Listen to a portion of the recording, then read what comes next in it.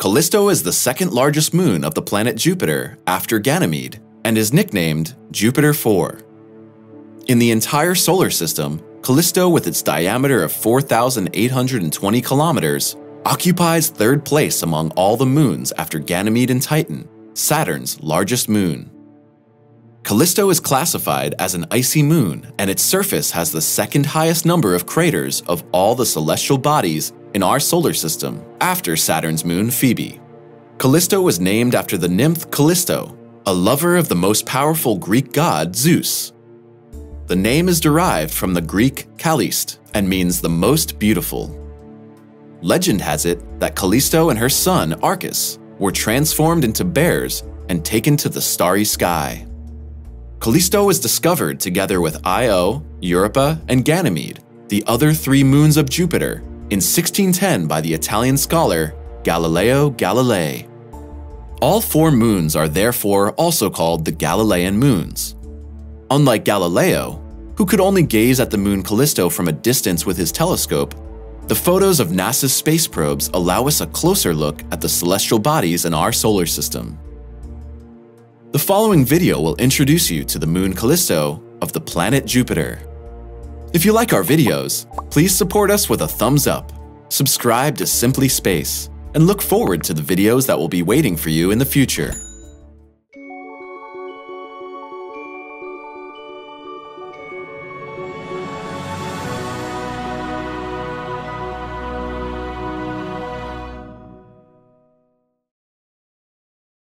Surface the surface of Callisto is littered with impact craters whose density is greater only on Saturn's moon Phoebe.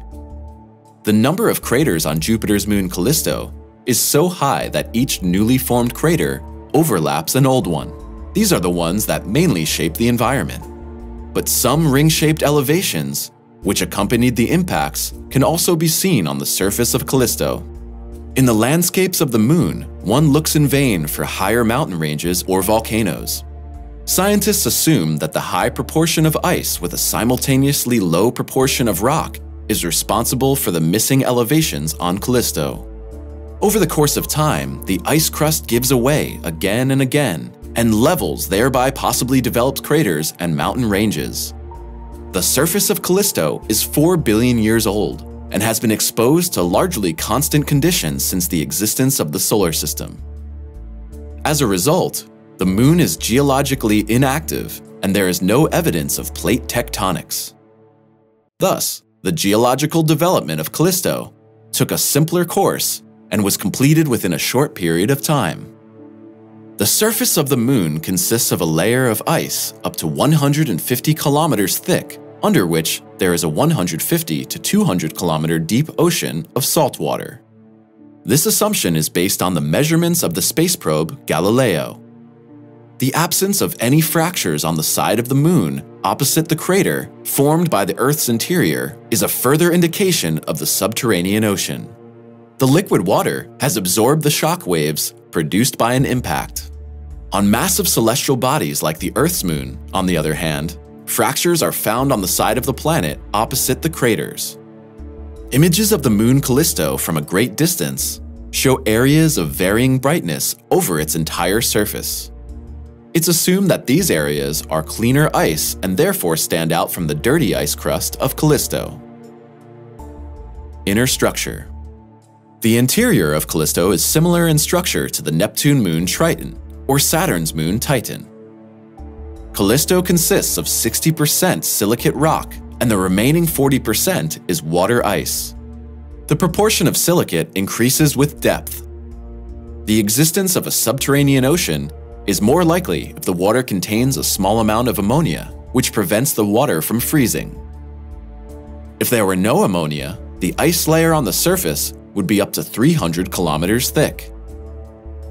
Data from the Galileo space probe suggests that if Callisto is a hydrostatic equilibrium, its interior would be composed of compressed rock and ice. The density and moment of inertia of the moon indicate the existence of a small silicate core in the center of Callisto.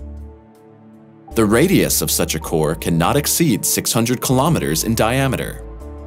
A new analysis of data from the Galileo space probe in 2011 assumes that the Moon is not in hydrostatic equilibrium. This is confirmed by the gravitational data from the probe.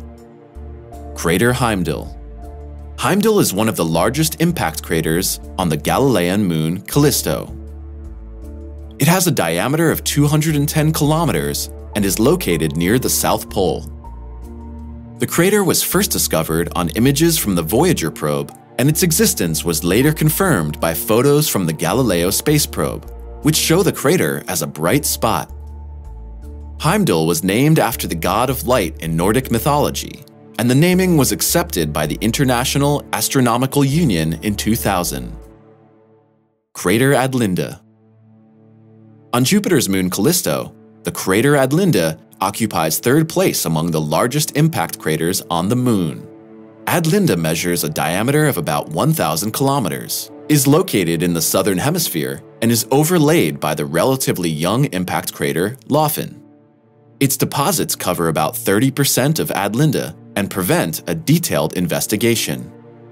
The ring-shaped structure around Adlinda's crater is barely visible in pictures, the name of the crater was borrowed from Inuit mythology. Crater Asgard With its diameter of 1600 kilometers, Asgard crater is the second largest annular impact crater of Jupiter's moon, Callisto. In images, Asgard can be recognized as a bright dot surrounded by concentric circles. In its center, it is overlaid by the dome-shaped crater Doh, and in its northern part, is the 600 kilometer long Utgard crater, which in turn is overlaid by the Asgard crater. Images show other impact craters in the vicinity of the crater, which can be recognized by bright spots. Above is the Burr crater, and on the right, the Tornarsuk crater. Above the Tornarsuk crater is the Omal crater. On the right side of the Burr crater, and below the Tornarsuk crater, is the Njord crater. The crater Asgard also owes its name to Nordic mythology. Asgard is the residence of the Aeson dynasty of gods. Crater Valhalla The largest impact crater in our solar system is on Jupiter's moon Callisto. In photos, the bright inner crater with a diameter of 360 kilometers is particularly striking. If you add the concentric circles surrounding it, which accompanied the formation of the crater, the diameter of the crater is 3,800 kilometers. The impact crater was discovered as early as 1979 by the Voyager space probe, and it lies on a quadrant facing Jupiter, slightly above the equator. Scientists assume that the ring system around the crater was formed by cooled rock. Geologically, the crater of Valhalla can be divided into three zones. The inner zone has a diameter of 360 kilometers, and with its round structure forms the impact point. Here, the surface structure is quite smooth and appears spotty. The high-resolution images of the Galileo space probe show the protruding rock and the surrounding plains very clearly. The plains are shown dark and the rock light. The zone of the ridges and the depressions encloses the inner zone. These mountain ridges run from the inside to the outside and have steep flanks. The rock walls turned out to be light-colored rock, which is surrounded by dark material. These insights into the structure of the Valhalla impact crater are only made possible by the high-resolution images from the Galileo space probe. The terrain in this zone has a very rugged structure. The depressions are located further away from the center of the crater and are enclosed by the winding mountain ridges, which have a width of 20 kilometers. This zone extends to a distance of 950 kilometers from the center of the Valhalla crater. Between the radius of 1500 to 1900 kilometers is the Trozone.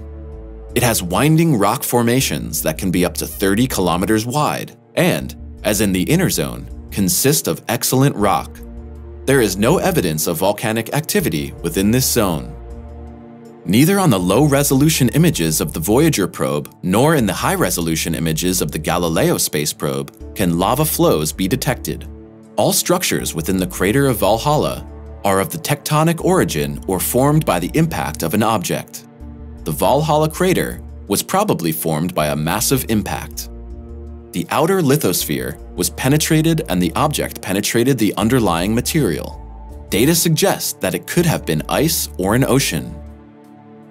The annular circles around the crater were formed by ice or water flowing into the cracks of Callisto's crust caused by the impact. Estimates put the age of the Valhalla crater at 2 to 4 billion years old. The name Valhalla comes from Nordic mythology and refers to the Hall of Warriors, where brave fighters found their resting place after their death. Gipul Catena Gipul Catena refers to a chain of craters on Jupiter's moon Callisto, which has a length of 620 kilometers.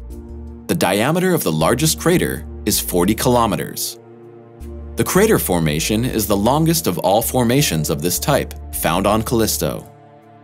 The crater chain was probably created by an object that broke up during a close flyby by the tidal forces of Jupiter. We hope this video has sparked your interest in other planets. In the future, we will present you more videos about many planets of our solar system. What is your opinion on this topic? Did you like the video? Please use the comment function for suggestions. We'd love to hear from you.